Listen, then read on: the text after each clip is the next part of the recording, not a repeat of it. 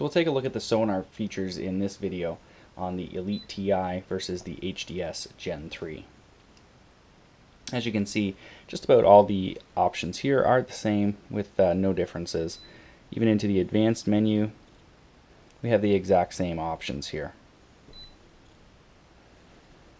When we go to our view option, again, exactly the same, no differences. Same color palettes that are available on the Gen 3 are also available on the Elite TI.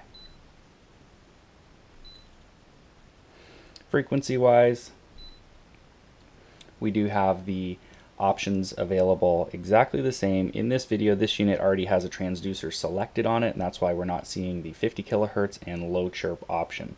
When you connect a transducer to the Elite TI, it will automatically detect what transducer is plugged in and then populate the options that are available with that transducer. One of the main changes Lowrance has done with the Elite TI is given it a 9 pin transducer connector. The blue 7 pin will no longer work, however you are able to adapt those over with the correct adapter.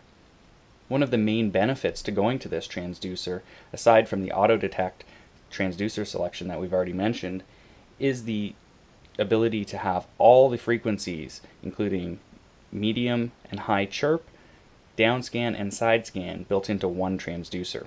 This transducer is about the same size as the LSS2 transducer that would be found for side and downscan on the HDS units. However, it's a little bit deeper. The same mounting bracket will still work, however you will have to modify it. With the total scan transducer, your high chirp frequency range will be 160 to 240 kilohertz, medium chirp 60 to 100 kilohertz, and your structure scan will be 455 and 800 kilohertz selectable. Should you choose to add a total scan transducer to the HDS unit, you are able to do that with a software upgrade. It will not work with the Hook series or the HDS Gen 2 touch or non-touch units. So we'll take a look at the structure scan portion of each unit here. Let me just adjust this range here so we get a better idea of what we're looking at. And feature-wise, we're looking at the exact same information. So now if we go into the advanced menu, we're going to see the same options. However, we do have a noise rejection feature available on the HDS unit. One thing to take note of on the Elite TI is your access to high chirp is only available when your structure scan is disabled. You're not able to get high chirp sonar and left and right structure scan at the same time. Whereas on the HDS unit, we can select between 283 and high chirp.